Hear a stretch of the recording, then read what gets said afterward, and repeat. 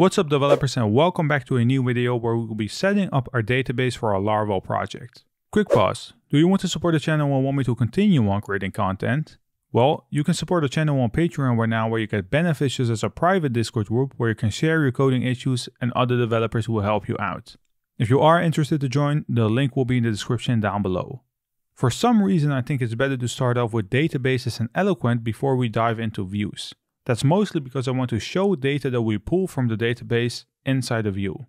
99.9% .9 of the people here will be using Laravel to interact with your application's database. Before we can do anything related to databases, we need to make sure that we configure our database correctly. Before we configure it right now, let's have a look inside the configurations for a database access that can be found like any other configuration file inside the config folder where we have a database.php file. By default, there is one connection for every driver.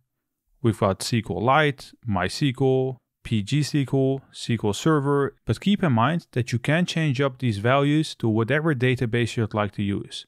Another quick note is the fact that you can have multiple drivers running on one project. Let's say that you want to use different database connections for two different types of data. One to read post, while the other one, while you want to write data inside another one. If we scroll up to our MySQL driver, right here, you'll see that the URL, host, port, database name, username and password and a couple other values are coming from the .env file. So do not change up the values right here, but instead, let's open the .env file in the root of our directory and change it up right here. On line number 11, you'll see that we start off with our database connection, which in my case will be MySQL, the host will be our local host, so 127.0.0.1.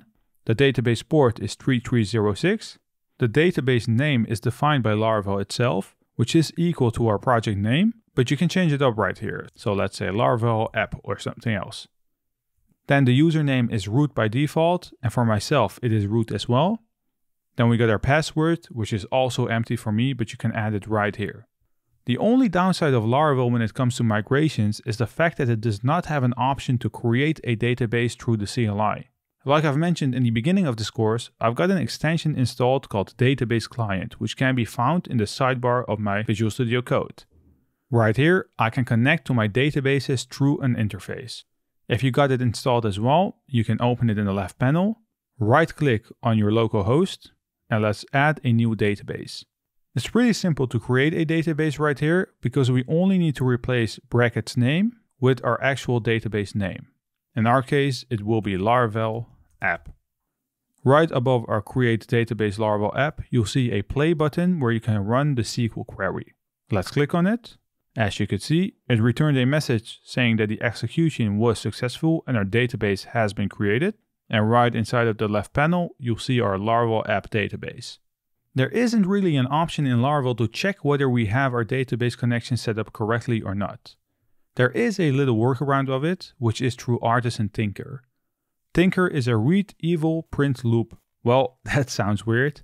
Artisan Tinker is basically a command prompt where you can time your commands, hit run, and then expect what you type to be evaluated and the response printed out. Tinker needs to be accessed through the CLI. So let's navigate back to the terminal. Let me write down clear right here. In here, we can perform PHP artisan tinker to get access to tinker. In order to test our connection out, we should write down db in capital, colon colon, connection, which is a method, so we need to add parentheses. Then we need to chain a method called get, capital P, D, O. If we hit enter, you'll see that our MySQL connection has been found and we are connected right now. In order to exit Tinker, we simply need to write down exit semicolon and as you could see it prompted us with a exit colon goodbye message. This was it for this short video where I showed you how you could connect to your database and test out if the connection is fine. If you do like my content and you want to see more, leave this video a thumbs up and if you're new to this channel, please hit the subscribe button.